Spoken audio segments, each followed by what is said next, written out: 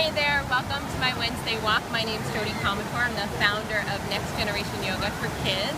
And I am at some kind of water park in um, Palm Beach, Florida with my family and I'm having an awesome time. And what I want to share with you is about how I just went on this super, super, super scary ride. I was way, there it is, over there. I think it's called the toilet bowl. Is that what it's called, Barry? I'm not sure. it didn't even matter what it was called, but it was super scary and literally my brother and my niece and my nephew and my cousins and everybody went on it and I went on it with them. The second time I was really afraid, like shaking. How afraid was I, Barry? Really afraid. and I did so much fear and I was shaking and my nose, my mouth was really dry.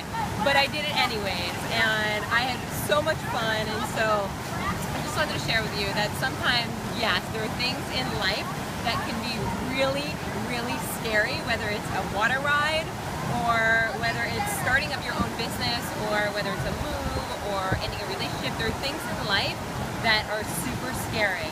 And it's how can we face our fear and do it anyways, right? And having the courage. So you can still be scared, but be courageous and do it anyways.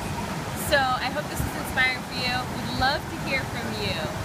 How do you face your fear? What are some things in your life that you were super afraid to do, but you had the courage to do it anyways? So please leave a comment so that we can all learn from you.